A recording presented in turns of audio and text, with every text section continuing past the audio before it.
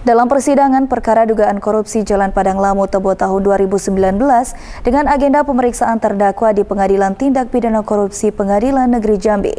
Melalui penasihat hukum para terdakwa menitipkan uang sebesar 200 juta rupiah. Dalam persidangan perkara dugaan korupsi Jalan Padang Lamu Kabupaten Tebo tahun 2019, pada 13 Oktober 2022, para terdakwa melalui kuasa hukumnya menitipkan uang sebesar 200 juta rupiah kepada Jaksa Penuntut Umum Kejaksaan Negeri Tebo. Uang titipan sebesar 200 juta rupiah tersebut merupakan sebagian uang pengganti kerugian negara. Uang tersebut diserahkan di dalam persidangan kepada Jaksa Penuntut Umum Kejaksaan Negeri Tebo dan disaksikan oleh majelis hakim. sebesar 200 juta. Jadi itu untuk awal penyidikan yang dilakukan oleh para terdakwa.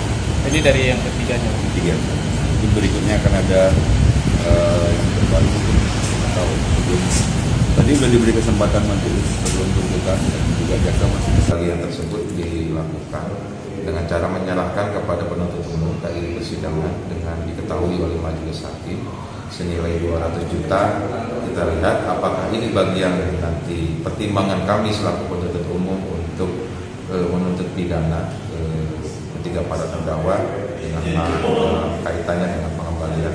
Namun harapan kami tentunya memang apa yang disampaikan oleh majelis hakim Eh, terkait dengan kerugian keuangan negara senilai kurang lebih 965 juta. Iqbal, JEK TV, melaporkan.